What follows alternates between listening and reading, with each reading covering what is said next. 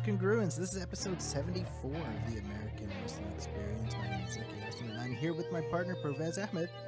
Hey, welcome back, listeners. Uh, uh, good to good to be back, and uh, Well, it's good to be here in the beautiful facilities of Hub 925 in Pleasanton, California. that's right. It was great listening to our episode last time um, that we recorded here, our, our sort of Virgin voyage, um, and uh, it was great to just hear the crispness of the audio and, and all of that. So, um, thank you again to the good folks at Hub 925.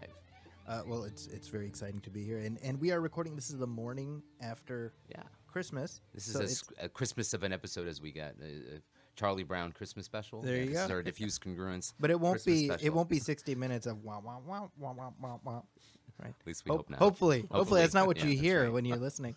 Uh, and we're very excited to be joined by our returning guest, Dr. Ali Ataie. And if I'm not mistaken, this is momentous because this is the fastest turnaround that we have ever had. Right? This is like what I don't. Uh, when Two episodes. two episodes. We only have one episode between you and the last time you were on. So that tells us something because because there were things that were left unsaid. Well, This is we I call this to do that. yeah. we call this episode unfinished business.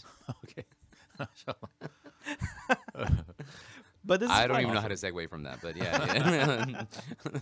yeah. Uh, no, but this is fun. This is going to be a really interesting conversation. That's right. Uh, I, I, you know, like the idea was was to have uh, Dr. Ataie on um, just uh, in time for the holidays to talk about um, Christmas. no, uh, but in a sense, um, because I think that um, oftentimes, um, whether it's for listeners of other faiths or even I think for Muslim listeners, um, you know, the what is uh, the sort of what is sort of Islam's normative position uh, on Jesus and Christ and Jesus of Nazareth.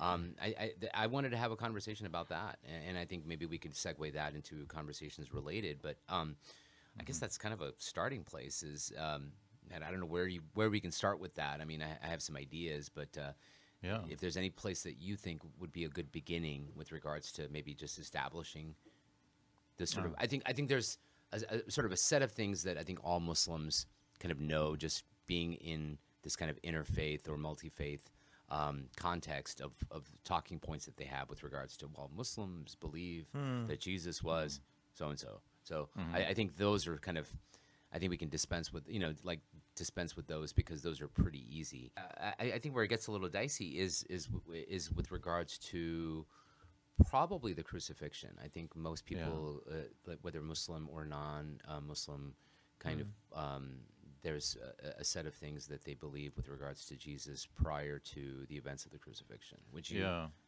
Yeah, it's an with that? interesting topic. Yeah. Um, it's it's quite a divisive topic. I think it's probably the uh, the the biggest difference, other than the uh, supposed deity of Jesus, is what actually happened to him. You know, Christians always point out um, from the very beginning, John of Damascene, John Ja- Damascene, or John of Damascus, as he's called in the eighth century, pointed this out as well. Uh, that Muslims uh, categorically deny the historicity uh, of the crucifixion based on his understanding of the text.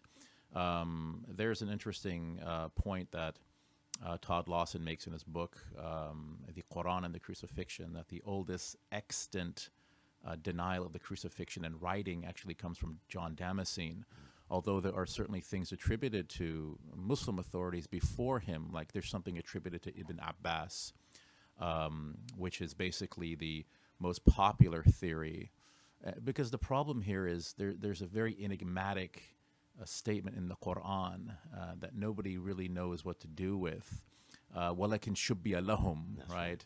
So what do you do with that statement? It was made, he was made to appear so, it was made to appear so, it was made dubious to them.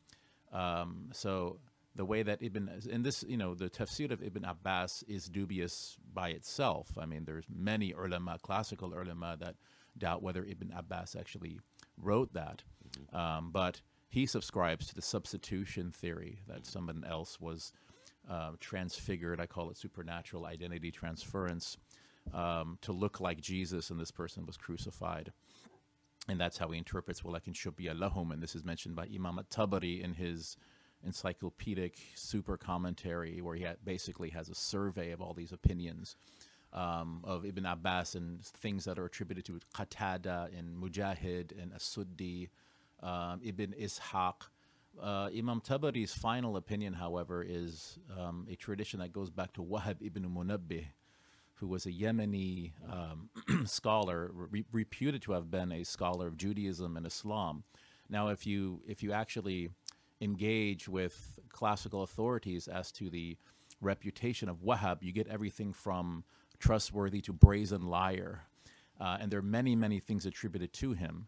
Uh, but the one that Imam Tabari really likes is uh, that um, that all of the disciples of Jesus uh, they scattered when Jewish authorities came to arrest him, um, except for one disciple. Uh, and then this sole disciple was supernaturally transfigured to look like Christ, uh, and then volunteered, obviously, to be crucified. And that's that's his final opinion. Now, what's also interesting is if you study the history of the exegesis of this ayah, and I call it ayatul salb, the, the verse of the crucifixion. There's only one explicit right. mention of the crucifixion in the entire Quran, and there's no hadith that is sahih and marfu', in other words, that is rigorously authenticated in its isnad that goes back to the Prophet sallallahu alaihi wasallam uh, that has any details as to what actually happened.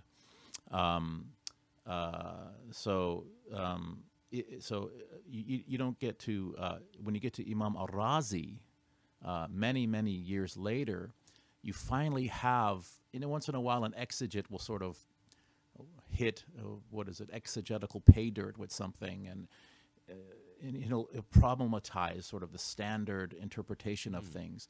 Imam al-Razi says that's unacceptable for God to, to supernaturally um, um, transfer someone's identity onto someone else because we depend on our senses uh, in um, in uh, you know in jurisprudential issues and court proceedings and so on and so forth. So he doesn't like that. Ty- he considers it a type of deception that God would do, and he finds it unacceptable. Okay. So he, he doesn't like that standard sort of substitution theory.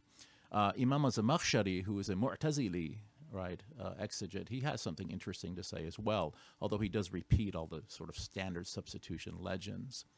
He does say, وَلَكِنْ shubbi لَهُمْ He says here that the conceptual uh, subject of shubbiha, because shubbiha is a, is a, is a hapax It doesn't appear anywhere else in the Quran. Nobody knows what to do with it, really. Mm. But he says the wow. conceptual subject is not Jesus, other, otherwise, it would mean that Jesus was made to look like somebody else, not the other way around. So substitution becomes untenable, according to Zamakhshari. So what he says here is that these, the conceptual subject of shubbiha is the event of the crucifixion itself, that the crucifixion was made dubious to the enemies of Jesus. And then what do you do with wama qataluhu wama salabuhu? Well, interestingly enough, um, uh, we'll put that aside for now. But there are things that are attributed to Jafar as-Sadiq, who is the great, great, great, great grandson of the Prophet sallallahu alaihi wasallam, uh, where he actually affirms the historicity of the crucifixion. Um, uh, what's interesting is that uh, the Twelver Shia, uh, almost all of them deny the crucifixion, even though um, they claim to take from his. And there's some question of whether it's uh, authentic or not. Certainly, Todd Lawson calls it pseudo Jafar. He, he doesn't think it's it's authentically from Jafar as-Sadiq. Who would he- be the fourth imam, right? the Yeah, f- y- uh, Jafar as-Sadiq? I think he Yeah. is would be the fourth or fifth. the fifth imam. yeah, fourth yeah fifth. Okay, fifth. the fifth imam, yeah. Um, so he apparently affirms the crucifixion. Zaydi Shia and Ismaili Shia, they confirm the crucifixion. The Ikhwan al-Safa, for example, who are a group of, I think it's translated the Brethren of Purity, uh, they were basically synthesizers of Greek philosophy and Islamic theology. And in their, they have a series of writings called the Risala or the Rasail. And in one of them, in one Risala, they, they basically just paraphrase the Gospel of John because they fully accept that these four uh, books in the New Testament is the authentic Injil, and they just basically go through it and say, yes, Jesus was he was he was he died on the cross, and then he was he was um, resurrected by God, and then he ascended to heaven. So those are the Ismailis. Now, what's interesting is it appears as though Imam al Ghazali also accepts the historicity of the crucifixion uh, because his opinion, and there's uh, it's it's different to pin him down because sometimes he sort of entertains the arguments of his opponents to argue against them. Uh, but it appears as if he accepts that the or affirms the text of Matthew, Mark, Luke, and John as the Injil, uh, and in that case would affirm the crucifixion.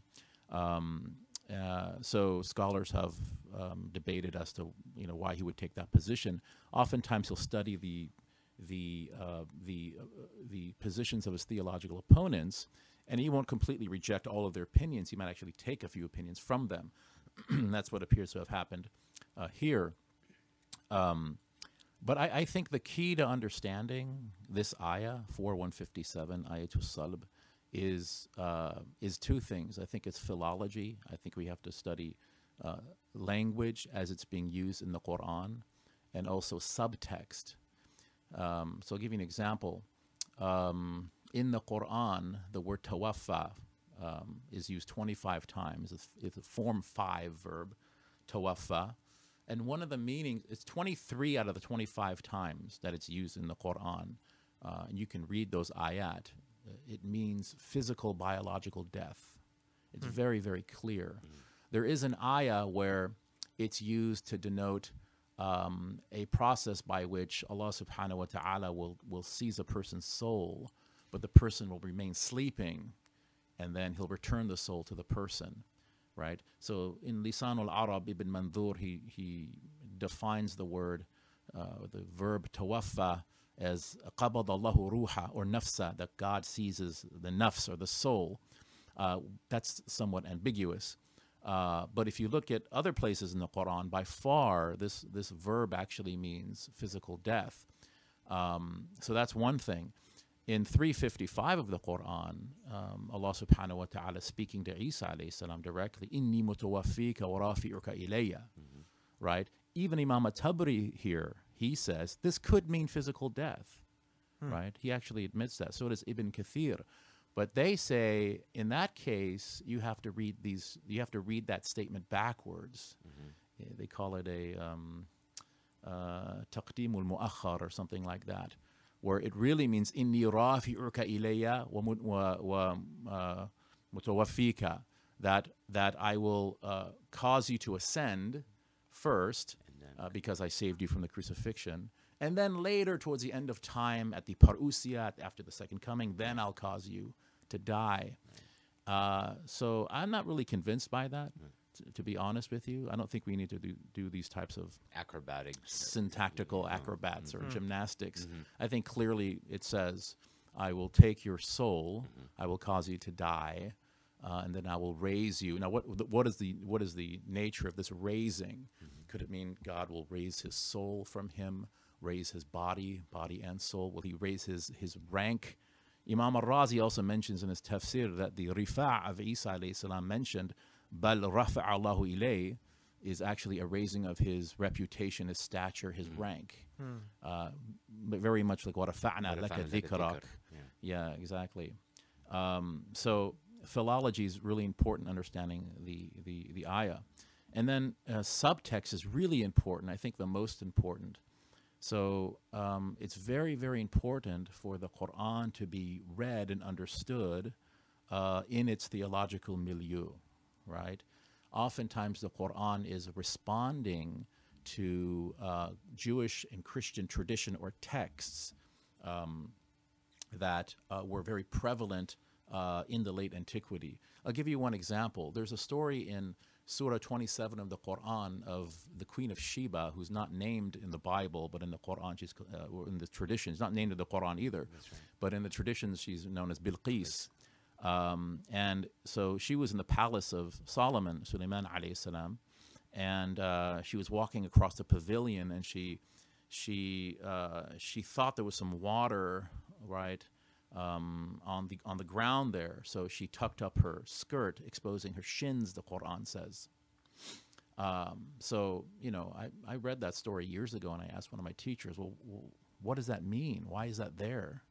And he said, "Well, you know, he didn't really have an answer." And he sort of said, "It sort of just means, you know, to the you know, as a sort of advice to the young women mm. to stay covered, right?" Mm. And so, what else is what else does it mean? Is that is that the significance? Is that the main he said, "Well, I don't, I don't really know." And well, it turns out that uh, it was very prevalent uh, um, amongst uh, uh, Coptic Christians, and there's also traditions in Talmudic Judaism that the Queen of Sheba was half demon, and that she had hooves for legs.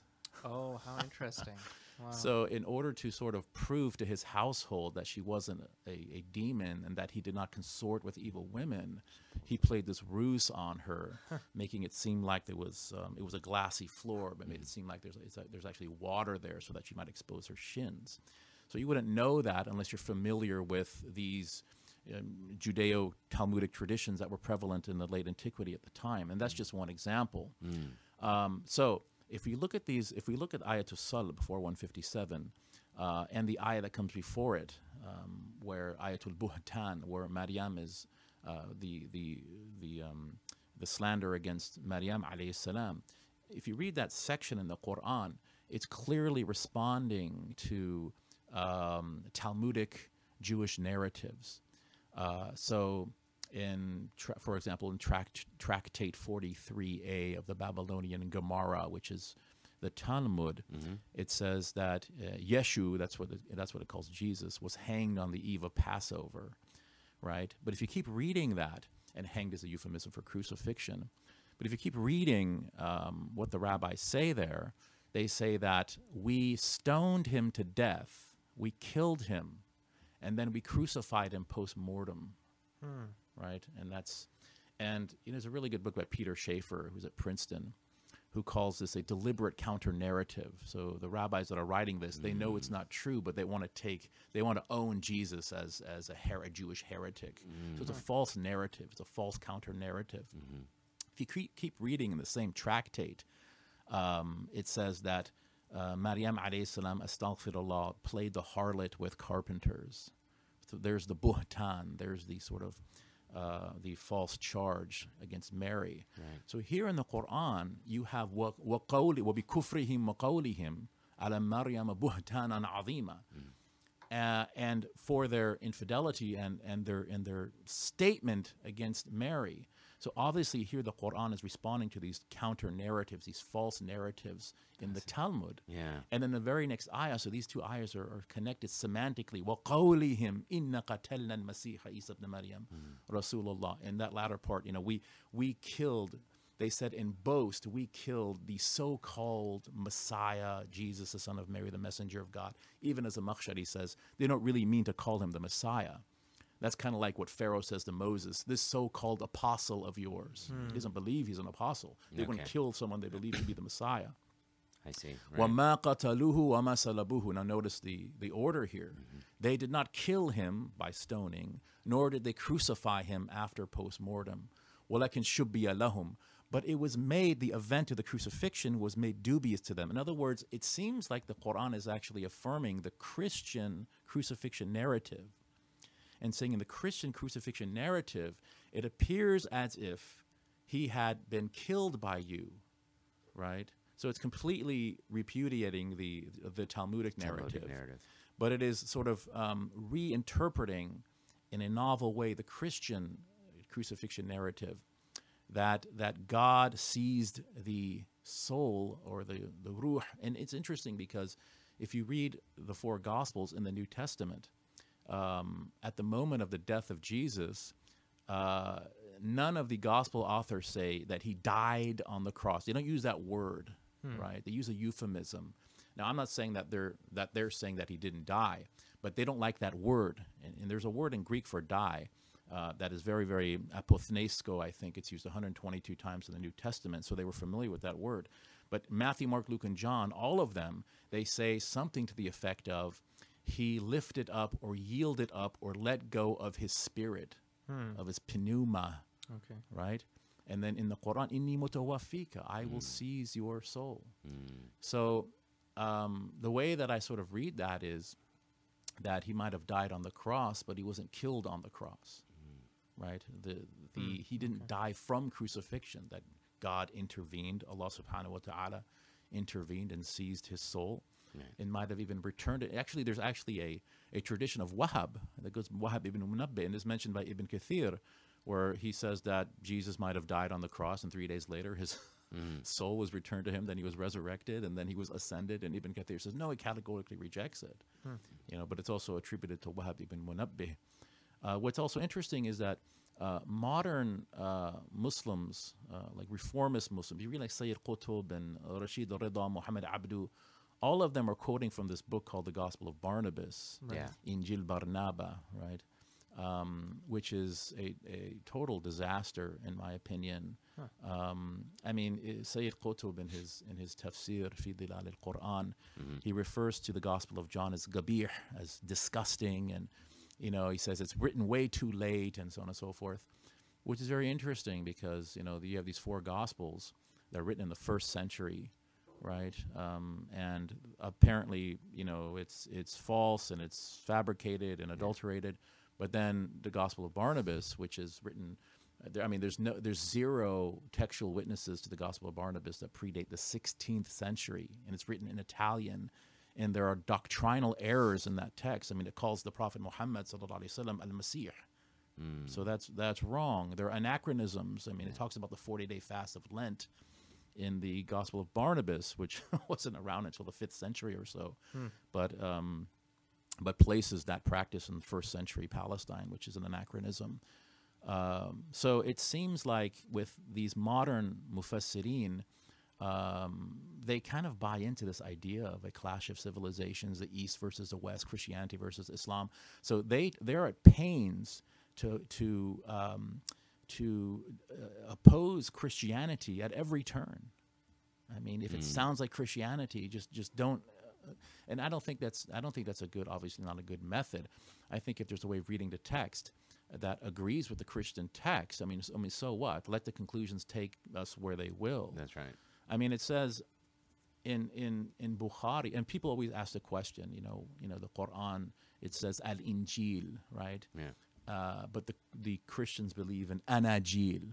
The Quran says the gospel singular, uh, but the the Christians believe in gospels. So you know, obviously, the Quran is talking about some original revelation that was revealed to Christ uh, in the Syriac language, which is now lost. Um, so how could this be authentic? And well, it's interesting because if you read um, in Bukhari, uh, Waraqa bin Nawfal, I might have mentioned this last time I was here. It Bukhari um, mention, describes Waraqa bin Nawfal. Of course, he was a cousin of Khadija al-Kubra. He was, That's right. It says, وَكَانَ رَجُلًا تَنَصَّرَ He was a man who converted to Christianity. يَقْرَأُ الْإِنْجِيلَ بِالْعَرَبِيَّة That he used to read the gospel in Arabic. So what is he reading? Is is he reading some archetype in Syriac that only he had access to, uh, and then you know he sort of hid it away? And what is he reading? So the question is, why does the Quran and Hadith use the singular Injil? Well, I think it's very, I think a little bit of research gives the answer. Uh, there was a gospel harmony that was done in Syriac in the second century by a man named Tatian. He was a student of Justin Martyr, one of the um, pioneers of, of uh, Logos Christology. His student was named Tatian. So basically, what he did is took Matthew, Mark, Luke, and John, and he put them into one narrative, gospel harmony. It's called the Diatessaron. Now, the Diatessaron, according to Western scholars, uh, was probably the most uh, popular form of the New Testament Gospels in Arabia during the Quran's milieu. So it's a single gospel, but it's a harmonization of all four gospels. It's a fourfold gospel. So this is probably what the Christians. Uh, this is prob- This is most likely what Waraqa is reading and translating. Tatian's Diatessaron from Syriac into Arabic, which is a single gospel. So the Quran is in fact confirming Matthew, Mark, Luke, and John, but it's in one form. It's in one narrative. You see. Uh, so. Um, I think a little bit of, of research will, will reveal that. And it's interesting because in, in Tatian's Diatessaron, you have the first five verses of the hymn to the Logos. Um, in the beginning was the Word, the Word was with God, and I would say that sanctified or divine, lowercase d, was the Word, so on and so forth. And then suddenly it switches to the birth of John the Baptist. I mean, that's the order in Tatian's Diatessaron. In the Quran, we have the the uh, the story of John the Baptist, and within that story, you have a reference to the logos. Musaddiqan bi kali- musaddiqan bi kalimatin min Allah. So it seems like it's mirroring what's happening in the Diatessaron. That that that uh, John is um, uh, confirming the fact that Yeah. Jesus was the Word. The word, yeah. Yeah. Yeah. Yeah. Which in, in the Quran, I mean, I don't know where uh, if it's in in, in con- or in relation to this particular verse about John, where the Prophet Isa uh, describes himself as as the Word of God, Yeah. right? Yeah. Kalima, uh, um, kalimat min, al- min min Allah or something. Yeah, right? c- yeah, and there's and then in Surah Maryam there's a Kalimatu minhu. Sorry. yeah, there's a, there's a the story of Isa alayhi salam and then ذلك عيسى ابن مريم قول الحق الذي فيه يمترون قول الحق is the ac- accusative according to some of the qira'at which would mean the aforementioned story about Jesus is true but some of the early uh, qaris they would read that in the marfu' um, in the nominative قول الحق الذي فيه يمترون. In that case, it's a direct reference to Jesus as the word of the truth, and al haq here would mean would mean Allah Subhanahu wa Taala. And it's also mentioned going back to the crucifixion. Yeah. Uh, وما قتلوه وما صلبوه ولكن شبه لهم وما قتلوه They did not kill him nor crucify him. وما قتلوه يقينا In reality, in other words, on the surface, that's what appeared to have happened Okay. that we killed the Messiah. But in reality, that didn't happen. And I think I mentioned this last time I was here as well. Imam al Ghazali mentions uh, Mansur al Hallaj when he was being crucified. Yeah. He was being, you know, uh, he was uh, guilty of shathiya, what is it, theopathic, um, uh, blas- blasphemous theopathic utterance, I think is how Annemarie Schimmel translates as shathiya. And as he was being Anna al marched- haq by saying no, no right. An al yeah, yeah, an al haq. Yeah. and as he, as he was being marched Right. to his crucifixion, he was saying, "Uqtuluni ya thiqati, fa inna qatli hayati." You know, kill me, all my friends. In my death is my life. And then, as he was being tied to the gibbet, he said, "وما قتلوه وما صلبوه ولكن شبه لهم." Wow. This is related by Imam al-Ghazali. They did not kill him nor crucify him, but it was made to appear so unto them. So what does he mean by that? In other words, you can kill my jasad, and this is what Abu Hatim al-Razi, who is an Ismaili scholar, the way he sort of deals with this is they can kill the nasut or the human uh, side of Christ, but they cannot touch his khulud or his eternal or Im- immortal aspect. And he calls it lahut, but Ismaili theology is, is a bit um, uh, is a, is a bit problematic for the Sunnis. So uh, Ismaili theology sounds kind of like Nestorianism, uh, which was uh, condemned at the Council of Ephesus in 431 of the Common Era. So Nestorius was a bishop who said that he didn't believe in hypostatic union. In other words, that Jesus was really two separate persons. He was the divine Son and he was the human Christ.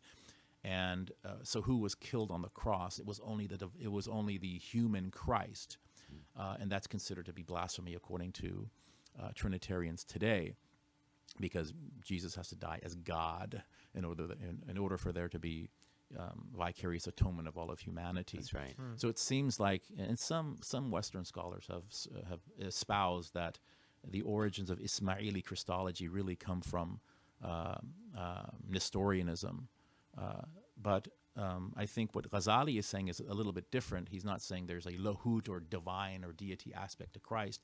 He's saying the spirit of his message cannot be killed by them. So somebody might say, well, that seems a little myst- uh, mystical and it's very esoteric. But if you read the Quran, you know, فَلَمْ تَقْتُلُوهُمْ uh, There's a verse in the Quran, you know, after the Battle of Badr, you did not kill them, that God killed them, right? So in reality, so it seems like you killed them or you, you slew them on the battlefield. But in reality, that was according to the well-pleasing will of God. And in fact, God literally did that because God, God, is a doer of everything. Right. You did not throw those pebbles when you threw, God threw them. So they didn't really kill the Messiah.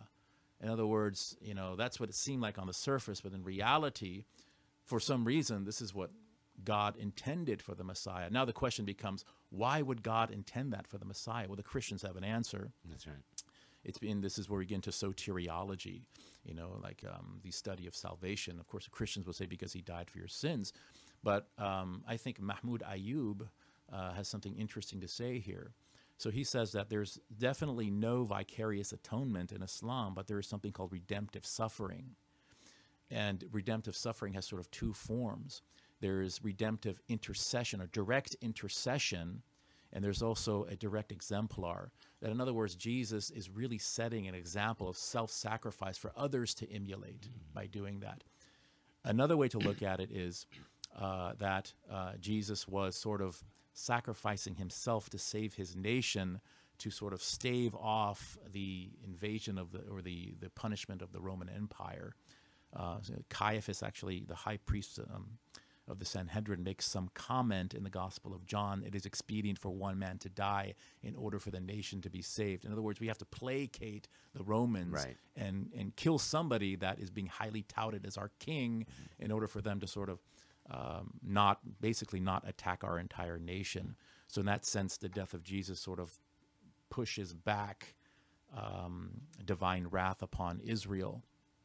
And then about 40 years later or so, which was pretty much equivalent to the time of the Israelite wandering uh, in the wilderness, uh, the temple was finally destroyed. So there was sort of a stay of execution, if you will, for Israel. The disciples had 40 years to go out and preach the gospel, and then finally, when it was almost universally rejected by Beni Israel, then the wrath came. And this is what early Christians like Origen and others would say happened. Um, this is how they sort of interpret the punishment or the destruction of the temple, which today is actually politically incorrect to say. To say, for example, the Temple of Solomon was destroyed by the Romans in 70, the Common Era, because because the Jews rejected their Messiah, is totally politically incorrect to say. It was in, it was actually after Vatican II in the 1960s, the 21st Ecumenical Council, when uh, the Mosaic Covenant was reinstituted by the Catholic Church Right. and and the Pope uh, recently, um, whether it was this Pope or the last Pope, I think it was this current Pope Francis, who made a comment that we don't evangelize Jews anymore. They don't even need Jesus anymore, because they have their covenant, which is very interesting. Because Muslims who believe in Christ as the Messiah, as a prophet, they believe in the virgin birth. You can even deal with the crucifixion in ways that affirms that they need the gospel. But, but Jews who don't who don't even believe in Jesus, um, uh, who have no belief about Jesus, um, they don't need the gospel because mm. it's not politically correct. When you say not politically correct, is it because it, it lends into these notions of like the blood libel or whatever with Jews? Yeah. I mean, right? Yeah. That they, that they, that they killed. Yeah, and some Muslims, and, yeah, they, like Maududi. I, I don't think uh, well, who was it? Uh, there's a Catholic, there's actually a Catholic Islamicist named Giulio Basetti Sani, uh-huh. who interprets that ayah, He says, yeah, they, the Jews didn't kill or crucify him. It was the Romans right? Yeah. And, and you know, I don't, I don't know about that. I mean, if you read the New Testament, that's like saying if a man kills another man, that man didn't do it. The gun did it, right? I mean, certainly, uh, the the Romans um, they crucified Jesus at the behest of the Jewish crowds. Now, what's what's ver- very important to make the point to make is that Jews today have absolutely nothing to do with obviously, and and it's it's sad we have to make this point. Yeah. They have absolutely nothing to do with the blood of Jesus. Right. So this idea that because you know Caiaphas, uh, according to Matthew, um, you know Pilate sort of washes his hands of the blood and says, you know, if you want to crucify him, you see to it. And then Caiaphas, the high priest, he says, may his blood be upon us and our children after us. And this is the verse that's used by Christians all throughout Christendom um, to um, advocate this idea of sort of transgenerational blood guilt. Yeah. That all the Jews are necessary for the death of Jesus. Now, Pilate is uh, uh, Pontius Pilate. Pontius Pilate, the Roman He's governor. the second magistrate that, that, that Jesus has brought before, or the, isn't there like two that he's taken to, and then finally neither of them want to sort of give the Yeah. execution order, and Well, I- yeah, he was the Roman governor Yeah. of Judea. Okay, So, okay. so actually, the the and this was a small group of of Pharisees and the Sanhedrin. The vast majority of, I mean, Jesus is Jewish. His disciples are Jewish. Yeah. Mary is Talk is about Jewish. Pharisees though for a second, because I think that's another. uh, I think well, it was a question I had for you, right? Because the Pharisees are what Jewish literalist. Yeah, I mean, they're they're considered a religious authority. The, Okay, The ulama, and many of them were corrupt, and yeah. yeah, and and one of the reforms that that that, that Jesus uh, advocates is Uh-huh. a reform of these uh, of, of the Pharisees. he does. I mean, Right. he's certainly butting heads with them Right. all throughout the gospel, especially in Matthew, the seven woes of Matthew 20. Woe unto you, scribes. So what he's trying to do, he's Mm-hmm. Yeah. not necessarily attacking them doctrinally Okay. or theologically, Right. Uh, but he is um, uh, attacking them as far as um, their their morality, their character. So he says, "Woe unto you, scribes and Pharisees! How can you escape the punishment of hell? You strain at the gnat and swallow the camel. Yeah. You, are like whited sepulchres. On the outside, you are clean. On the inside, they reek of death. Mm. Right? Calling out their hypocrisy. Um, uh, so he's constantly butting heads with them. Now, there, there were actually Pharisees who were the, the Gospels describe as secret disciples of Jesus. Joseph of Arimathea. You have Nicodemus as well, who meets with Jesus in John chapter 3. What's really interesting is in the 19th century, um, there was a theory that gained a lot of popularity about what actually happened uh, during the crucifixion. Okay. And it's called the swoon hypothesis or the swoon theory. Uh, in, in confessional circles, I think it was, I think it started with the founder of the Ahmadiyya movement, um, Mirza Ghulam Ahmad. Uh, in Sunni circles, um, uh, the founder of Aligarh University, Sayyid Ahmad Khan, he explicitly subscribes to the swoon theory. Okay. Swoon theory is basically that Jesus survived the crucifixion, right? Um, And then goes off to like India. well, that's the Ahmadiyya. The Ahmadiyya say that yeah, he survived the crucifixion, and then he he died an old man in Kashmir, and to this day, in a city called Srinagar, I think there's a tomb of Jesus where thousands make pilgrimage to. really? Yeah.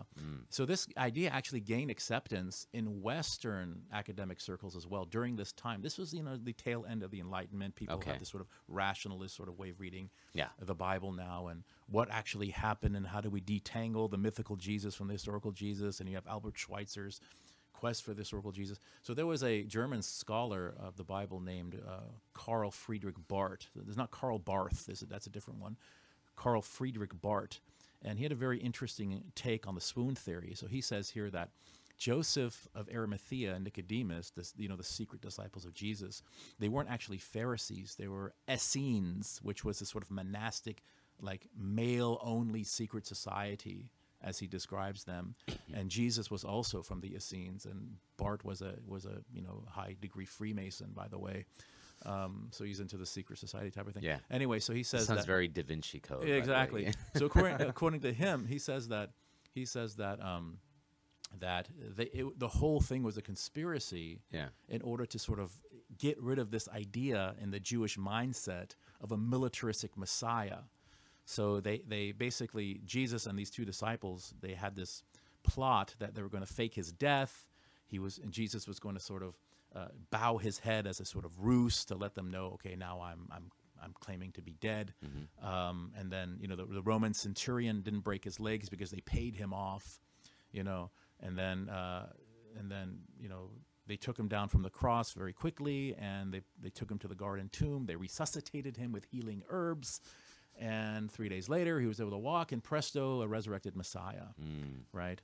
Um, so that that's his sort of take on what happened. Now, modern Muslim apologists they they subscribe to this theory uh, without the whole conspiracy aspect. So like Ahmed Deedat, Zakir Naik, um, Shabir Ali in Toronto, all of them have espoused some form of the swoon theory Wow. that that Jesus uh, was put on the cross, uh, but he didn't die. And then inni mutawafika, they take that to mean, yeah, that his soul was taken, but he was asleep, and then it was returned to him. Anything to avoid dying, right? Um, and then they use certain things like um, like Jesus and Luke and John appears to be in disguise. You know, why would he disguise himself if he's the resurrected Christ? And obviously, he's afraid of being spotted by Pharisees or by Roman authorities and and, and killed again this time for sure. And so they, they have certain arguments they use for the for the swoon theory. Okay.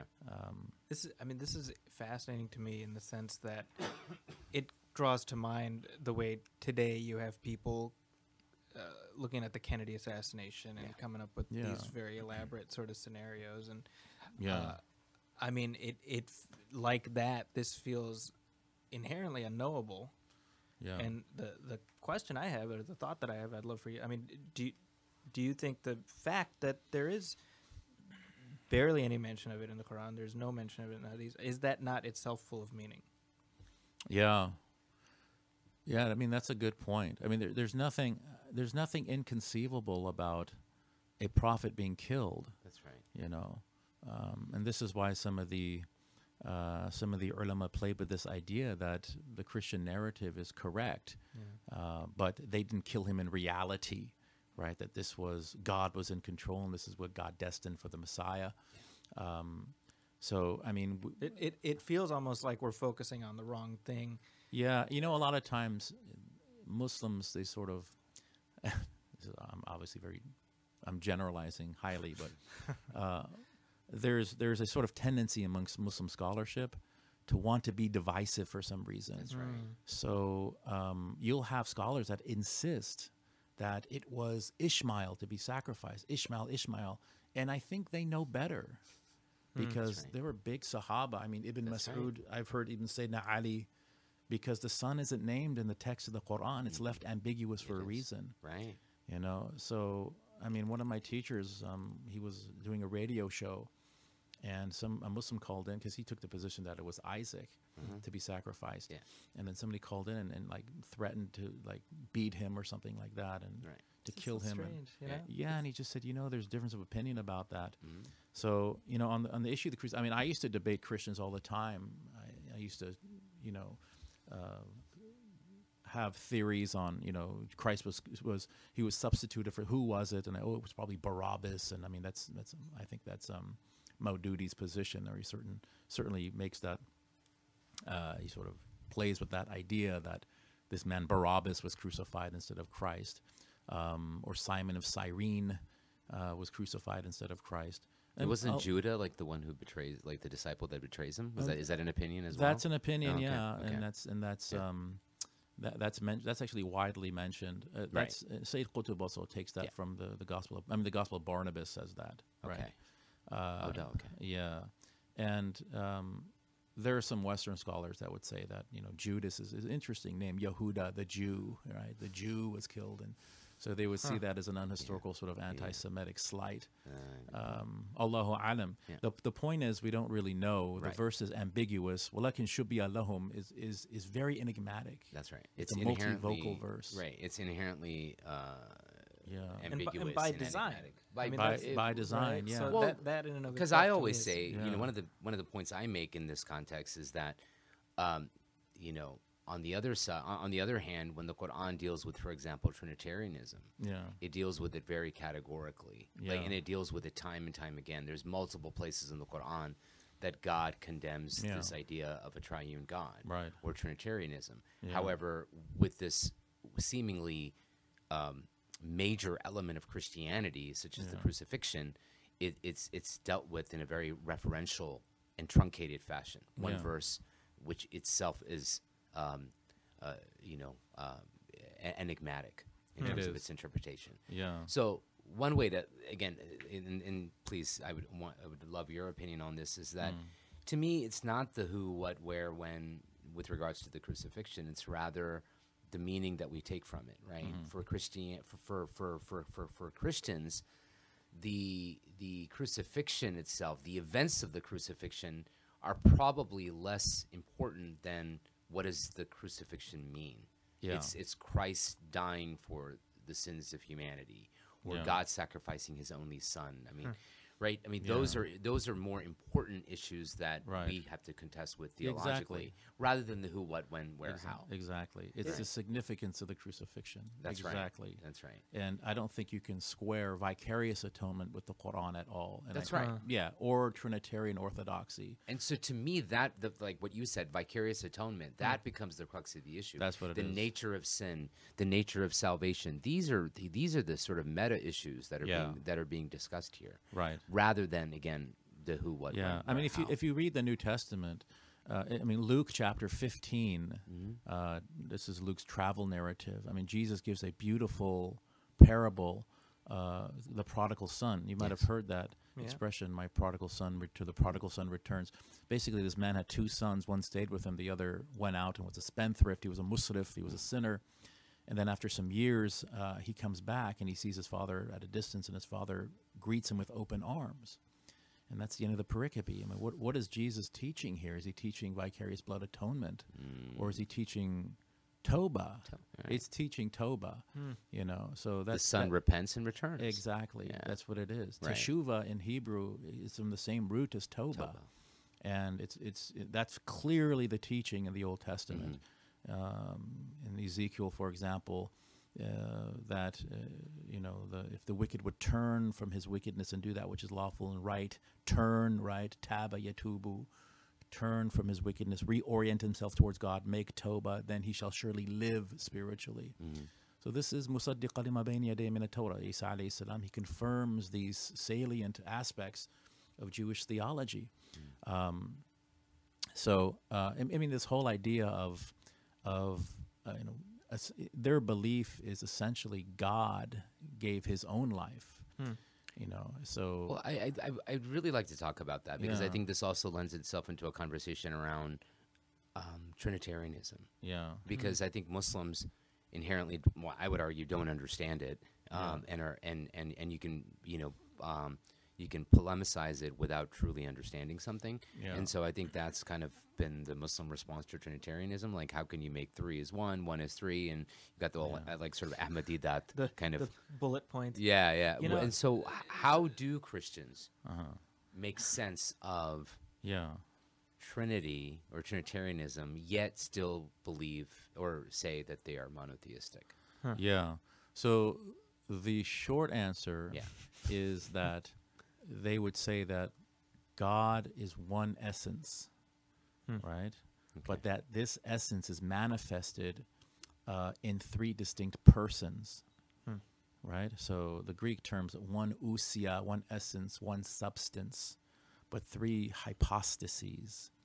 Um, so I mean, explaining the Trinity is is nearly impossible. I think it's Augustine of Hippo who actually wrote in his book De Trinitate on the Trinity. He said, you know, I've, I doubt very seriously that most people will be able to understand what I'm saying here. Um, so, uh, you know, understanding the reality of the Trinity, I think, is is impossible. Uh, but uh, understanding how, you know what what is being said and what the claims are, you know, the sort of doctrine of the Trinity rather than its reality, I think we can grasp it. Um, uh, albeit it might be somewhat contradictory in our minds. Um, so when we're dealing with the realm of metaphysics, with the realm of of transcendence, it's hard for us to sort of grapple with that, right? So, uh, as far as the relationship of of the Son of God to God the Father, the Christian Trinitarian would say that although the Father caused the Son, and they use those words, the Father caused the Son, there was no time when the Father existed that the Son did not. So this was done in pre eternality, right? So the Father does not have temporal precedence over the Son. And since the Son was caused from the ousia, as, uh, as Athanasius says, from the very essence of God, then the then then the Father also does not have ontological precedence over the Son. Now you would say, well, I mean, if something is the effect of something else, if something is if the if, if there's an effect of a cause, then it would seem axiomatic that the effect is ontologically inferior to its cause, and that's the Neoplatonic position, actually. But the Christian will retort here and say, no, it doesn't mean that at all, because the Son is actually produced or generated from the very essence of the Father. So they are absol- absolutely ontologically equal. And then we get to the Holy Spirit, which is the same type of thing. They don't they don't like to use the word. I mean, they say the Holy Spirit is caused by the Father as well, but the Son is begotten, while the Spirit proceeds eternally from the Father. Um, so they would say that this is sort of, uh, you know, Trinitarianism or Trinitarian monotheism. They say, look, it's monotheism because it's one essence, it's one God, right? Um, however, this God is manifested into three persons. Now, what is a person? According to Trinitarian theologians, a person is a collection of unique attributes. That's what a person is. Okay. So the Father has a unique attribute of being the cause. The Holy Spirit has a unique attribute of being eternally proceeding. And the Son has a unique attribute of being begotten, which is another way of saying he's also caused. Um, so uh, that sounds very strange. It, it sounds contradictory. I mean, how you know the whole idea of a pre-eternal son by itself seems a bit oxymoronic. That you have a son by definition who was generated from something else, yet he's also pre-eternal, right? Um, but again, the, the Christian response here is when you're dealing with the realm of metaphysics and transcendence, um, it's it's logical theologically, but might be illogical um, rationally. or- rationally. Yeah. Um, but the real issue then is the incarnation. You know, um, I mean, it's interesting. The Mu'tazila they would say similar things about the Sunnis. They would say that we have sort of we're sort of Christianizing our concept of kalam because we would say the the attribute of God. Right, I mean, the Christians say the Son is a collection of unique attributes. The attribute of kalam, um, the Sunnis would say is pre-eternal, uncreated, and then the Mu'tazila would say, well, that's what the Christians are saying about the Son of God. I think the difference, however, is that the Christians would say that the Son, in and of himself, is fully God. He's not a part of God. He's not a third of God, right? Um, whereas kalam, although it is not the essence nor anything other than the essence, surely surely it is not God in and of itself. It gives an additional meaning to the essence of God. So there is a similarity to a point, but then the similarity sort of breaks down, or the analogy breaks down. Um, but the incarnation is really the, I think. Um, so I, in other words, I think if we're dealing with the realm of transcendence, I think a, a clever Trinitarian theologian would be able to um, somewhat convince people that this is monotheism and that this is what it really means for a person of God. It's a collection of unique attributes, and it's really just one God. It's one essence that's sort of causing these collections of attributes to come, even though they're pre-eternal. Um, so there's a way of sort of dealing with that. I don't agree with it, but the but the real issue I think for us would, and, and for Jewish theologians is the incarnation. That that the second person of the Trinity uh, incarnated, um, in, in other words, became or assumed flesh. Right. Now, does all of this get, if you pardon the expression, flushed out? Um, some 300 years. Is it true that it all gets sort of flushed out? eh, You know, in the Council of Ni- uh, Nicaea in 325. Yeah, so the Council of Nicaea was Nicaea. Yeah, 325, 1st ecumenical council. This is when um, the Son of God became officially God the Son. Okay. So um, it was called for by Constantine. There was 318 bishops, um, and uh, the, main issue at that time was the Arian controversy. Right. So there was a presbyter in the church in Alexandria who was basically um, saying that the Son of God is an honorific title. It just means he's the Messiah or he's the first of creation. Um, the, the Father is a monarch. He's the only one who is God. He is the the um, sufficient cause of all things, including the Son, which makes him ontologically superior to the Son. So he was espousing a type of um, Unitarian monotheism, um, whereas Athanasius, his theological opponent, also his teacher, um, was espousing a type of Trinitarian monotheism. And in at Nicaea, Yeah. the latter did win the day by vote uh, and became sort of the official position um, of the Catholic Church at the time. And mentioned, I think I mentioned this last time as well. Henry Chadwick says in his book, The Early Church, that despite the Council of Nicaea, the vast majority of bishops in that region continued to teach Arian Christology, that the Father and Son are not homoousios, they're not the same essence, but they're rather homoi or even heteroousios, meaning they, they have similar essence or they're completely different. Okay. So it's interesting um, the aftermath of Nicaea. And then 381 is the next ecumenical council where the Holy Spirit was also officially recognized as the third person of the Trinity, pre eternal, co substantial. right. Yeah. And then what about like is it the Council of Nicaea then where the idea of the Eucharist and and and and uh, uh, that doctrine sort of comes into play? Um, I'm not sure about. I mean, the the doctrine of the, the well, the Eucharist as a sacrament has origins in the New Testament. Okay. Certainly, proto-Orthodox Church Fathers, um, in other words, uh, pre-Nicene Church Fathers, they would interpret those those scripture verses Right. Take of my flesh and Yeah, right, right, yeah. things like that. Okay. exactly. And Yeah. the Catholics believe in a process, transubstantiation, Yes. in which um, in which the bread and the wine are literally transformed in their essence Right. to the flesh and blood of Jesus. Although the accidents remain the same, so it still looks like bread and smells like bread and tastes like bread and so on and so forth. Protestants will take that more symbolic. They don't believe it's an actual uh, transformation into the literal blood and, and flesh of Christ. Um, but yeah, I mean, we're talking about the blood, the blood libel earlier in the show. Yeah. I mean, uh, the Christians in, in uh, you know, because once in a while somebody would, somebody would stumble across descriptions of Jesus in the Talmud, and this would start, you know, sort of spark this massive sort of pogrom against uh, Jewish communities in in in, in Christendom, in, Yeah. in Christian Europe. Right. Um, and then they started this rumor that you know rabbis would sneak into churches, and they would take the leftover bread, and they would go back to the synagogue and nail it to a cross. And it's literally the flesh of Jesus Yeah. That they're crucifying over again. And you'll see paintings depicting this. Right. Um, what is it called?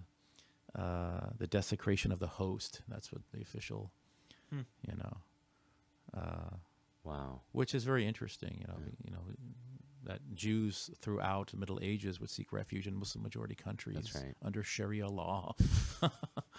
you know, because they were given they were given autonomous rule according to their own courts Mm-hmm. to practice halakha law. Yeah. You know, Yeah. which is very interesting.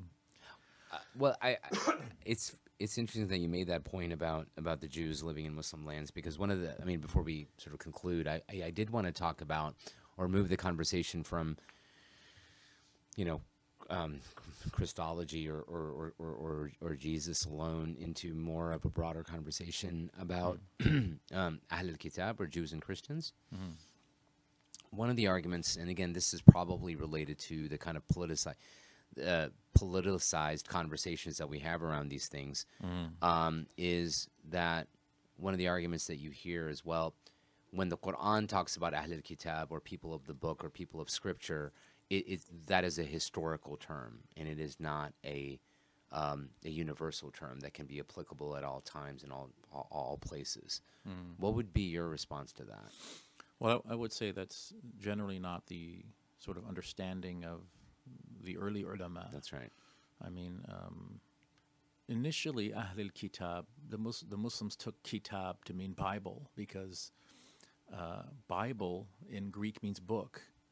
Um, now, um, when the Islamic uh, We get biblio from right. right Yeah, that's right. exactly. Bi- yeah, biblioteca, Yeah. the place of. Yeah, so tabiblion in Greek means the book. Hmm. Al Kitabul Muqaddas in Arabic, the Holy Bible, the Holy Book.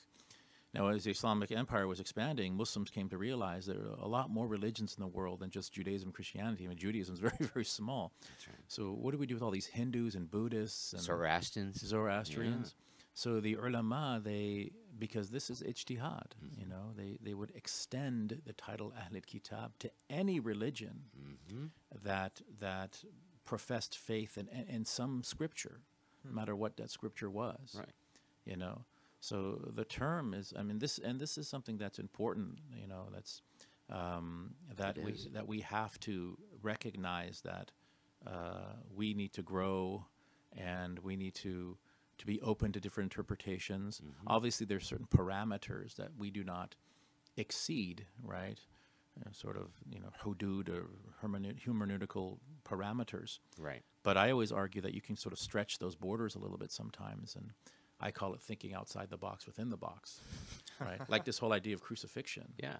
I mean, I've been to places where um, I would ask a scholar, a very learned scholar, is it okay for us to believe that Jesus was put anywhere near a cross? And he'd say, no, this is kufr, and you can't. do You, how dare you? You're imitating the kufar, and and you know, I mean, that's just one example. It is. You know, so so I think we need to be open minded to, to, to. Oh, things. I, I think our, uh, if you will, I think you mentioned this last time, but you know, I think the Muslims have been largely anemic when it comes to comparative theology, yeah. um, and and which is why I think having someone like you on the show is fascinating because I mean I think you represent, if if you would, if you would pardon me, saying this to you in your face is you sort of rep- one of a kind in terms of.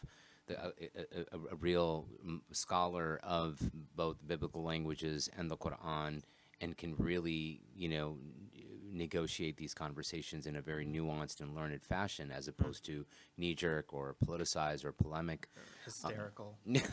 hysterical. Um, And and w- uh, what was comparative theology? Um, um, um al-bidal wal nahal or something, right? Al-milal wal nihal, Yeah, yeah, yeah. al-milal, so nations and creeds. I mean, we started Milad, right, right. milal, al-milal wal nihal. Milal wal nihal. Yeah, I mean, uh, Muslim theologians, they, they're the pioneers of this discipline. Abu Rayhan al-Bir- al-Biruni, Imam al-Shahrastani, even even Imam al-Ghazali. I mean, um, the Wadi', the, the founder is recognized. Imam al-Shahrastani, Kitabu Milal wa Nihal, the books of the book of nations and creeds. So this this is getting back to our our roots. What is what is Islam essentially? Is is a restoration. Uh, it is a because people say you know you, you need a reformation, an Islamic reformation. Islam is in and of itself essentially a reformation of Judaism and Christianity, and that's why it's so important uh, when we read the Quran to understand its subtext. And I can't stress this enough that the Quran is engaging with Jewish and Christian and pagan and other texts. I mean, the Quran is making mention of, you know, and uh, there's another example of, um, you know, Dhul Qarnayn, you know, the, the one with two horns. And, you know, I was in a, I was teaching a class on tafsir one time, a basic tafsir Imam Suyuti, and uh, and I mentioned Dhul Qarnayn is probably Alexander of of of, uh, of Macedon, and a Muslim brother in the in the audience. I mean, just he just kind of lost his mind.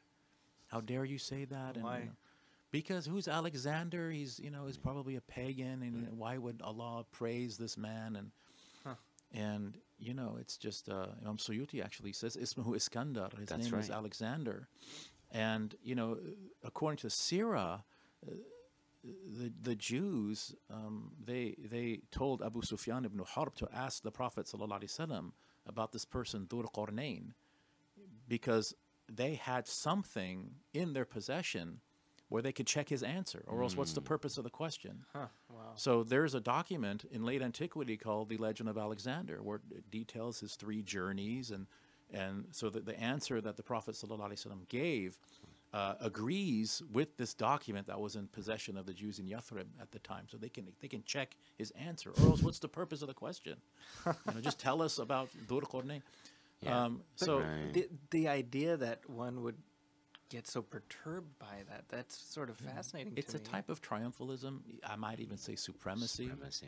You know, we have to keep it. I mean, Alexander the Great, he was a student of Aristotle. You can establish his monotheism if you wanted to. You know, Yeah. if you if that really means a lot to you, um, you probably can. I mean, he was a student of Aristotle. He was a very virtuous man. But that's probably him. You know, who's who's um, Luqman al Hakim? I Yeah. mean, there's something attributed to Ibn Abbas that he was an Abyssinian sage. But if you if you read, you know what those sections in, S- in Surah Luqman That's about, right. about his son, I mean, he's he's all about pedagogy. It's about education. It- He sounds like Confucius. Right. So you have you have the Hellenistic world. You have you know the the, the Far Eastern wisdom. Uh, Imam Shahrastani says that Khidr is probably the Buddha. So I was going to say, I mean, very so similar, right, to, Yeah. to Khidr in the sense that these are figures who espouse great wisdom, Right. In in the and to, to to the extent that it's preserved in the Quran, yet they are not prophets. yeah, Um, Yeah. And, and speaking of prophets, I mean, I think we'd be remiss not to mention this on the show. Um, the the opinion of you know, you know scholars like Ibn Hazm and I believe uh, uh, um, Al Qurtubi that Mary, yeah. right, the, Yeah. the mother of Jesus, They uh, insist on it. They insist. Okay, She's a prophet. right and also um, um Musa uh, uh, وأوحينا إلى أم موسى that she received a type of wahi and that وإذ قالت الملائكة يا مريم Right. right so they, they would insist that they're definitely female prophets I mean it's a minority opinion but it's a strong opinion Right. you know uh, so I mean this is an opinion that that we should we should highlight That's right. you know it's it's it's it's it's part of our scholarship to do that you know but um anyway so Yeah.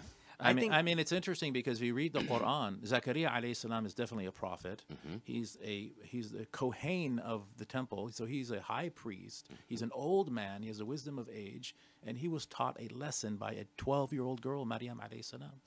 He stopped making du'a for his son because he thought, well, it's not it's not possible. I'm too old. My wife's too old, and and then he saw fruit out of season. And here's something else. I mean, fruit out of where does that come from? That's mentioned in the proto gospel of James the Quran is, is seems to be uh, interfacing intertextually with this um, gospel that's actually outside the Christian canon. The reason why it's outside the Christian canon is because it has very little to say about Jesus. It's about Mary. So the, the Christian fathers they thought, well, we're not going to put this into the canon because it doesn't say much about about Jesus. Um, but it, this seems to be the sort of uh, um, the intertextual sort of uh, touchstone of, of this of this episode in the Quran. Mm-hmm.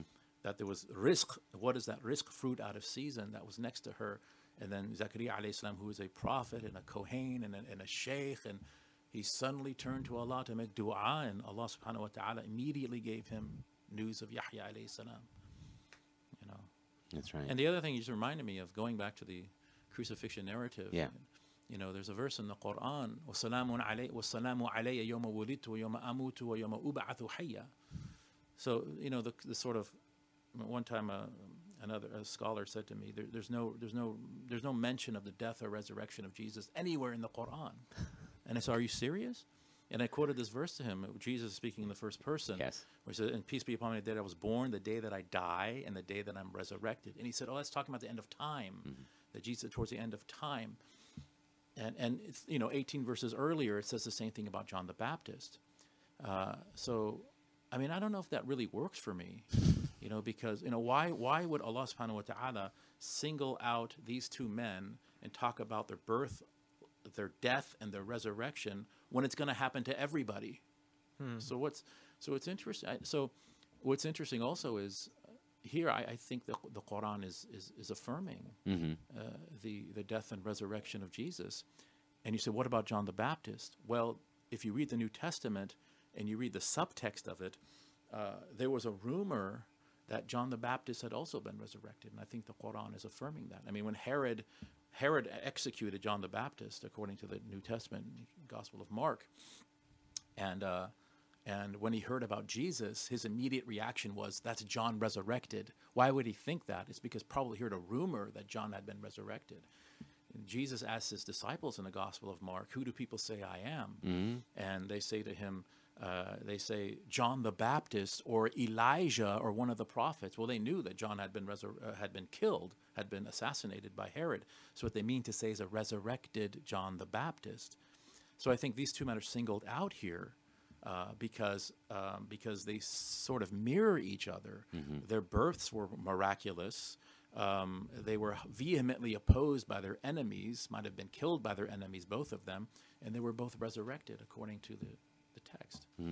Why would these two men be singled out by the Quran if you know everyone's going to be resurrected at the general resurrection at the end of time? There's something special about them. You know. You, you you also reminded me of, of, of the fact that, you know, um, many of the prophets that, that are mentioned, or, or many of the great prophets uh, that Muslims believe in, um, th- there's sort of a missing father figure, and I wonder if there's any significance there. Yeah, that's true. I mean, if you look at the ulul azm min al-rusul, Yes. uh, at least four of them didn't have their biological fathers in Right. their lives. Right. So Allah subhanahu wa ta'ala, He took the responsibility of raising them. This is called a tarbiyah rabbaniya. They had a lordly upbringing. Mm-hmm. Yeah. And the word Rabb obviously means someone who takes care of you in stages. And I've heard you in another context talk about when the when when when, when the uh, new when the New Testament talks about the father. Yeah. It's it's it's it's, it's not it, the ab can be interchangeable with the rab. That's what that's what it means. Oh, that's what. Yeah, it's exactly. I mean, if you, I mean, in the in the book of Isaiah, uh, there's a prayer that says, um, "Ata Adonai Avinu, you are the Lord our Father." Mm-hmm. Now, if you read any rabbinical exegesis of that, it'll say the meaning of that is Lord and cherisher and sustainer and father figure, and it's metaphorical. And and this is how Jesus actually uses the term in the New Testament. On the Sermon on the Mount, they ask him, How do we pray? And mm-hmm. Jesus says in Syriac, Avun devashmeo nedkata shmoch, Our Father who art in heaven. Hallowed be thy name. Hallowed be thy name. Right. Yeah. So, because again, you, you, we, we, we've talked about the sort of hy- hysterical responses that you see among Muslims, like Yeah. you know, any idea of, of, of like the Lord's Prayer or anything like that as being, you Is- know, is cool. beautiful. Yeah. yeah, is is heretical. Like, how dare you say the Father? Because as if you're Yeah. equating, you know, that, that you automatically are prescribing to a triune God or You know, you know what's funny is Yeah. I'm as we're having this conversation, I'm reminded of you know when I was living in Saudi Arabia when I was a kid. Mm. We went to an Arabic school, and um, uh, somebody had a pen in their pocket, like. Clip over their pocket, so it kind of looked like that. And they said, "No, no, don't do that. It looks, like, looks a like a cross." and you know, I was uh, 11 maybe, and I'm Yeah. thinking like, really, like, are, this is this what we're doing? You This know? will blow your mind, but the, you know, um, Oh, s- wow. s- some who who, who who who sort of uh, um, people argue that you can't wear a tie uh, or a bow tie or you know like, Yeah, a, yeah. like a tie because it's a cross. It's a cross. yeah. See, I mean, You've never, yeah, Yeah, you've I've never heard heard that. that. I guess I'd, I've I've, I've, I feel lucky for having not, not heard that, but I mean that just seems it. My point is, Not that I- Zaki I'm, wears a I'm tie not, a lot. I I don't. don't think I've ever seen you in a tie. Uh, I think I wore one when I got married. I. I missed your wedding. Sorry. okay. Um, no, but I mean, I I think uh, you know, not to impugn people's good intentions, but it feels like it's it's kind of it's the same thing that uh, we're, we're you know people in the Muslim community are doing the same thing that uh, you do when on the Christian side when all their in, their entire faith is bound up in in the crucifixion, where it's like, well, th- Jesus was more than that. You know, I mean, I remember watching uh, the the film, you know, uh, The Passion of the Christ, and Oh, I, I- that, huh? I was I was horrified. I mean, I was horrified by it. And I have I've had this conversation with Christian friends. I was like, Yeah. I found it disrespectful. uh, Yeah. Because t- to me, Yeah, the, the idea that all, everything uh, that you're going to bind up Jesus into Exactly. this depiction, as opposed to everything he was preaching for the entirety of his life, you know. Yeah. And uh, It's a 90 minute snuff film. I know you're a It- yeah. exactly. I know you're a movie you're a movie buff. When I was a kid um, in the '80s, on basic cable, they would play these beautiful Jesus movies: King of Kings, King of Kings. Jeffrey And Hunter, Jeffrey Hunter. Uh, Well, Jesus of Nazareth. look at look at the film Ben Hur. Ben Hur is my favorite. I think that, I think there's there's a scene in Ben Hur which I consider the most powerful scene in American film history, and it has nothing to do with the crucifixion. Is it the water? It's the water scene, Right? It's Yeah. incredible, and the way that they treat it with such reverence. They they never show his face. He Yeah. never says a word, right. right? But you can just in his actions. You see people re- res- re- reacting to him. the Roman centurion just kind of forgot where he was for a minute because he's looking into the face of Christ. It's just an incredible scene. Um, but yeah, I mean, everything today is just it's it's basically violence porn. I mean, that's Mm-hmm. Yeah. that's the whole movie, The Passion of the Christ. It- I mean, yeah. Yeah, and, that's right. and it's uh, it's I mean, it's not even based on the Gospels. I'm familiar with the Gospels. Mel Gibson. I mean, it's, it's the Gospel according to Mel Gibson, basically. I mean, he took a lot of that movie from the um, the visions of a Augustinian uh, nun named Anne Emmerich, who was a stigmatic. She would bleed and things like that. And she had these visions of uh, of things, and yeah, a lot of that movie's not based on the Gospel. Hmm. I mean, just the, the carrying the cross. Three Yeah. Gospels say that for some reason. It doesn't say why. It say the, the Romans pulled a man out of the crowd, Simon of Cyrene, and he was compelled to bear the cross, and Jesus would sort of follow behind or in front. But in the movie, you know, he has both of them carrying. I mean, where, what gospel is that from? So you're hmm. combining gospels. You're creating your own gospel. Hmm. You know. Um, but I mean, those are the movies when I was a kid. And, and when I saw those movies, I mean, the, the, and they would even the crucifixion scenes in those those classic movies. It was done with with with respect, and it was it was more classy. Uh, and uh, uh, I remember when the first time I actually read the Quran when I was 19. I, I read that he was not crucified or he was not killed or crucified. And I remember initially I felt a type of relief, like okay, good, that didn't happen to him. But then there was tension, like what happened then? Yeah. and I became obsessed with with what happened. But those movies were very powerful, and they don't make cinema like that anymore. I mean, nowadays, what are the Christmas movies? Home Alone, which is a good movie, you know, but Elf, and then Die Hard is a Christmas classic. Can you believe Sure. that? Die Hard is a Christmas classic. Yippee ki you know. and and and and that that is construed by some as a Christ metaphor. So exactly, yeah. Oh wow. Really? yeah, sure. Uh, well, as you said that, I'm picturing, you know, uh, uh, Bruce Willis jumping from the building, right? Sure. Oh, and there's yeah. the, the, the, the bleeding from his Oh, the feet. bleeding from his feet, Oh, I- stigmata. right? You Wow. know, I never thought. Wow. I never thought of that either. That, Yeah. that is brilliant. Subhanallah. I got to think about that Because. I, I mean, like I, I get Superman, right? We and we Yeah, talked yeah. about this on the last show actually with Zachary, right? I mean, Superman, the Christ metaphor, and the Moses metaphor, Yeah. right? You know, parents putting him out um, uh, Oh, to wow. to save him, but. Um, uh, We have run the gamut during this conversation. we really have. Oh, Uh, but I wanted to say something, and because I think going back to this idea of like the, the the kind of responses you see among Muslims, I think what's interesting, and I think what what what needs to be said is, you know when when when when in our in our classical scholarship when we were able to to to to, to talk about these issues i think what, what's often missed here is that it was from the vantage point of a a, a growing robust civilizational power. And now when we talk about these issues we come at we approach them from a point of uh, like there's this defeatism right? Yeah. we've succumbed to you know our place in the world or there's this very defeatist mentality. And so Yeah. when you when you when you approach things from a defeatist mentality there is the need to to sort of you know like you said like there, there's this sort of need to turn to supremacy and Mm-hmm. supremacy kind of uh, con- you know uh, rhetoric because Yeah. it makes you feel better Right. because you're you're you have an inferiority complex Yeah, and I think that explains a lot of the polemicism that's happening, the the popularity of, uh, you know, um, sort of one-line sort of dawa um, slogans, and pamphleteering pamphleteering. I mean, pe- yeah, I mean, I used to be like that. Right. You Yeah, know, I I, I, told the I'm story guilty. last, Yeah, you last did. time I was here, and you know, it's just, um, you know, I think we need to improve our scholarship. Yeah. We need to engage in, in sacred languages. We need to study history. Um, I mean, I think it was Sayyidina Ali who said, "You can learn anything. I mean, you can learn something even from a five-year-old child." You know, you know, just you know, it's, it's the- it? There's an Arab proverb like what you don't find in uh, oceans, you sometimes find in rivers and streams, right? Yeah, yeah. yeah. It, it's it's it's difficult. It takes humility. Mm-hmm. I'm not saying I'm humble, but I, I sat with scholars, Christian scholars, that I had massive difference of opinion, but I, I didn't argue with them. I just I wanted to know why do you believe what you believe. Mm. I learned languages from them. I learned theology from them.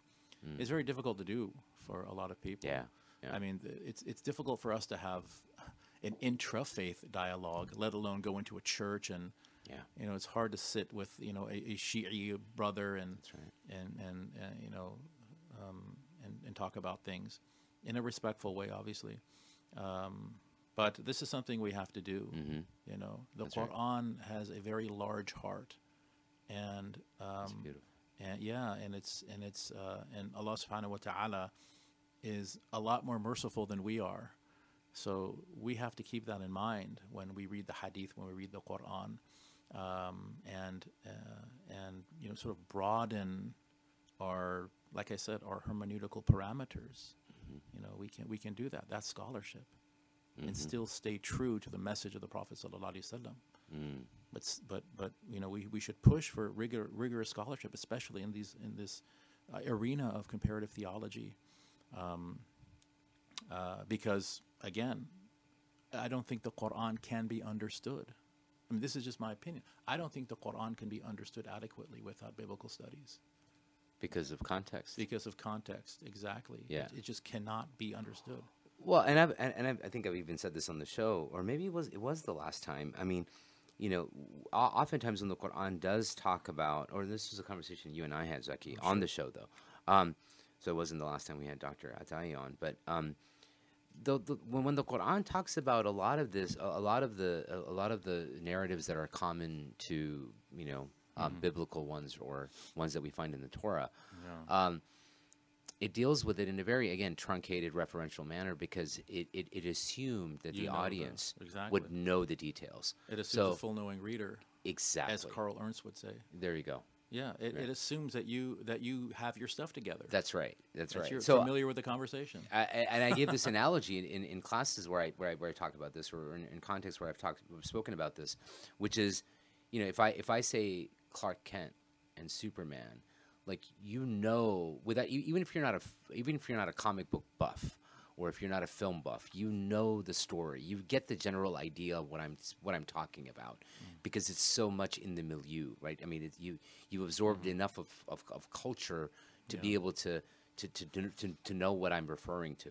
Yeah. And so the Quran kind of adopts that similar approach where, look, you, I don't need to. We, the Quran doesn't need to go into the details, the numbers, the dates, etc. Right. Because the audience, that initial response audience, and certainly it assumes that we are well informed readers at this point, um, know the story, know the details, Mm-hmm. Yeah. and can flesh it out for themselves. Definitely. So, you know, and again, uh, to, if I could quote you from I- what I've heard you say previously, you know, much like in real estate, it's location, location, location. Oh, yeah. You know, hermeneutics is all about, and, and scriptural interpretation is all is, is all about context, context, context. Exactly.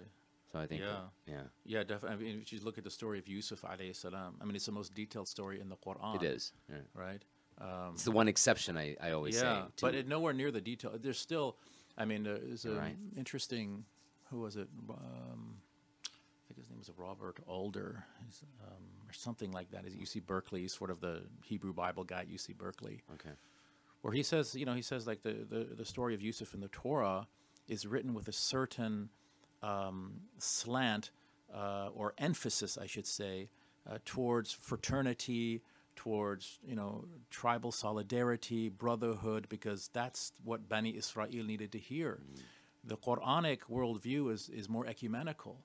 So it's the same story, but it's a different emphasis. It's not necessarily canceling. It's not a corrective of the biblical story. And this is a point that Imam al-Biqa'i makes as well, who affirms the text of the Bible, um, where he says that uh, you know that that these these these qisas, these narrations are being universalized. So there there's a different point of emphasis at times. For example, in the Yusuf story in Genesis, you know Joseph is in jail, and um, you know his cellmates they have those dreams, those visions, and they ask him for the interpretation, and straight away he gives the interpretation. That's it. In the Quran, he says, "Let me tell you something first, and then he gives them tawheed right? Because the Quran is more ecumenical. It's trying to appeal to a larger audience. Um, it's trying to establish Tawheed first and foremost amongst the Arabs. Um, so it's not necessarily a contradiction, but it's a different point of emphasis. That's right. So I think that's what's happening with, with many stories in the Quran, including the the Exodus story as well. And Right. in the Quran, you know, it's you know in the, in the Bible, it's again more tribal. Let my people go. In the Quran, won't you let me guide you? Speak to Pharaoh a qaw- qawlan layyin, a, a gentle Yeah, word. gentle word. Perhaps he might fear mm-hmm. Allah Subhanahu wa Taala. And you know, it's not inconceivable to, to say that in the Quranic version of the Exodus, many, many Egyptians also made the Exodus with Moses because he was proselytizing the faith to them. He was Yeah. calling them to Allah subhanahu wa ta'ala. That's so it's not just, you know, Israelites leaving Egypt, it's believers leaving Egypt. And those believers were Well, even the even the priests in the in in in, in Pharaoh in, in, in the Pharaoh's court, Mm-hmm. exactly right? They they the magicians. they bow down in, They in did, yeah. prostration because Yeah. of they, they they believed in the validity of uh, the, the, Moses' prophecy. Yeah. And you have the, the tradition of Asiya in our That's right. in, in our tradition. That's the, right. The wife of Pharaoh, who's probably Hatshepsut. I mean, there's I have to do more research on this, but there there is a there is a a, a, a, tradition of an Egyptian queen Pharaoh who uh, who um, whose tomb and memory was desecrated and trying to attempted to be written out of history for Mm-hmm. some reason. Her name was Hatshepsut. But we have to. I, I mean, I, I teach a class at Zaytuna called Seminole Ancient Texts, and we went through sort of the timeline, and it could work, but Mm, I don't remember the details right now. But there might be some. There's probably some. Obviously, Right. there is some historical basis for that story because it's mentioned in the Quran. We believe it's a true story. Yeah. no, I mean, and- you mentioned you know context in this kind of ecumenical approach. I mean, to me, Mm-hmm. the ultimate proof of that is you know a lot a lot of uh, even what the when when the Quran does deal with these biblical narratives and so on, Mm-hmm. um, they are in the Medinan context. Yeah. Meccan verses don't speak of uh, Ahl Kitab and, Yeah. and don't speak. I mean, e- correct me if I'm wrong, but I mean most of the of what we of we glean Mm. from the Quran of these stories comes in the Medinan context because Mm-hmm. here the prophet is in fact, you know, conversing with Jews and Christians Yeah. for the first time, whereas in in Mecca it's, you know, Right. there's not a, a standing faith community Right. of Jews and Christians. That's true. Yeah. Yeah. Yeah. Um, I think it's a great place. I mean, every, I think every time we get to a point, I was, uh, you know, I, I think of more things to ask, but I think uh, Well, well, I'll th- save it for another day. We'll have to have you back for more unfinished business. That's right. this is great, though. Oh my yeah. gosh. No, This thank is- you so much uh, this- for for uh, one agreeing to come back so soon. I mean, I reached out to Dr. Ataie and I was like, I thought I wouldn't I wouldn't get a response or something. You're like, really? You want me back? And like, No, wasn't I wasn't I just on deja vu? But no, really. thank you for taking the time. I know Okay, it's and my mind was racing based on something Zaki, something of John McClane and John the Apostle. I, I, I think that there is there is an analysis of the first Die Hard that I Ah, think right. could, could certainly Yeah. allow for for a deeper reading. I think there's a lot Yeah. in that Well, first one. yeah. Sorry, I, I'm going to ask one more thing because you, you, I'm- you, you, you made me think of this, and, and which is, what would you say to the argument that that, that, that, that has Christmas? I mean, we are recording this on the day after Christmas, Mm-hmm. Yeah. Boxing Day, as I'm told it is. Yeah. Um, and and Zaki has a reason why it's called Boxing Day, which I just thought it was a Canadian holiday, but you're saying, it's like where you I, I'm pretty sure. I mean, Anyway. I'm happy to be proven Yeah. wrong, but yeah. that Christmas has become so thoroughly secularized that that can can Muslims have Christmas trees and, and believe in Santa Claus? Wow. Sorry, no, I mean you know this is something you Yeah. hear from people. Yeah. You know, I I I would say no. Okay, Because I mean, the whole concept of Santa Claus. is- I mean, Yeah. I, I, I, I just wouldn't advocate lying to children, no matter what right? it is. Okay, yeah, Unless it's absolutely necessary. You know, I mean, I went to the mall a, a few weeks ago, and Mm-hmm. my daughter's four, and she said, "Oh, you know, what's what's going on?" and Mm. sort of explained uh, Santa Claus, and then she kind of just, you know, brushed it off, and then a few days later, she said, "You know, when, when's Santa Claus coming?" And I Mm. said, "Well, you know, there's not really. D- Daddy is, daddies are, are Santa Claus. they dress up like."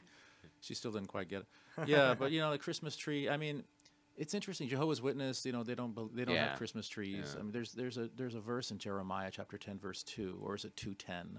I think I'm transposing the book and verse, but it says uh, it says follow not the way of the heathen, who brings in trees from the forest into their homes and deck them out with gold and silver. So this was a, a- an ancient pagan practice, but you said it's so secularized now that people don't know the they don't know the origins of these Right. things anymore. And I mean, That's I've, right. I've even heard things that it's permissible to go trick or treating and things like. I'm not going to say who who has those opinions, but right. yeah, I, generally for me personally, I would I would just be safe and. Caution against. I mean, yeah, I mean, it becomes a slippery slope. but I'll tell you this: Uh-huh. I love I love the holiday season.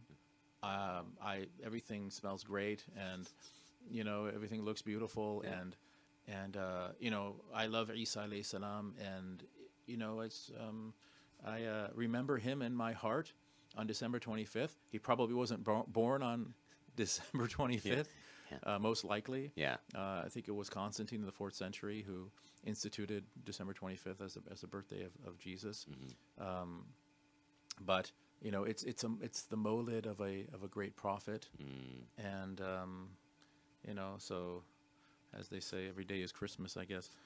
You know, s- s- Allahu alam. no, thank you. Thank I you think even- I think that is a perfect place to leave entertaining it. that. Yeah, exactly. Um, so thank you, listeners. And uh, you, if you have any questions, comments, uh, feedback, uh, please do email us at diffusecongruence at gmail.com. Um, you can also find us on Facebook, facebook.com slash diffusecongruence. Um, and as always, especially during this time of the wonderful holidays, uh, and not to mention towards the end of the year where you, where you, where you can make uh, um, uh, your charitable contributions, please do visit our Patreon page and support the show.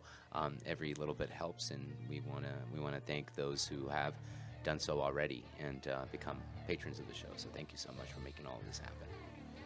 And uh, just to wrap things up, thank you, Dr. Thank you, Tai, and Thank uh, so thank uh, thanks everybody for making 2018 really awesome. Yeah, this is our last show of the year, uh, most this likely. Is, this is uh, inshallah the last show this year, but inshallah we'll be back uh, in a few weeks with uh, uh, hopefully a bold new start to the bold. Review. Both you start our 75th episode, which will be some sort of anniversary, Wow.